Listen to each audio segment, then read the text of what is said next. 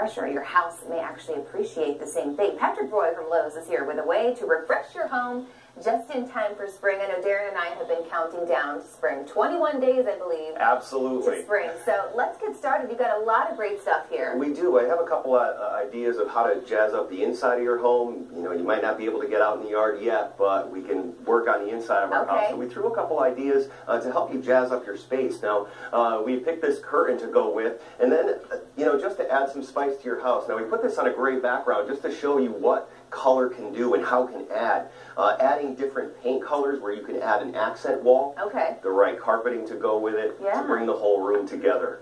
And then, if that wasn't your style, we can go with something different. You know, again with a neutral wall, but we add that dash of color, adding your pillows, adding an accent wall as well can really jazz up yeah. your space. Uh, and then, of course, the right rug, you may want to go with neutral tones. Um, but anytime you can add that splash of color just to bring that house yeah. together, that room-to-room harmony.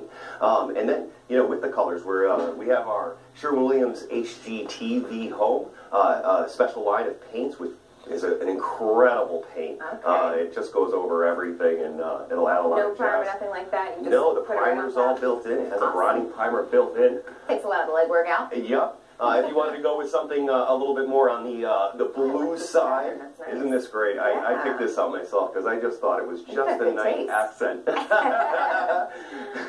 then uh, I, I have another. Uh, if you if you want to stay a little bit more towards the neutral stage, um, where you can keep, you know, maybe your carpet and your curtains a little lighter, and then just add that splash of yeah. color. This just is really some fresh warmth. too. Yeah. It does. It is a nice warm tone. With some nice um, sunlight going in, and like a yep. little Florida room, as they call it, it would be really pretty. And we can help you step this through uh, right at Lowe's. Um, one thing that we did uh, over here is uh, we took this lamp. This is actually the same lamp, uh, this green lamp and this blue lamp.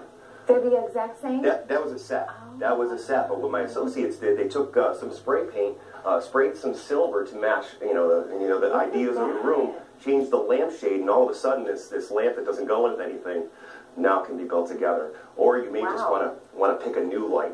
Uh, and this really goes with nice. every curtain that we have.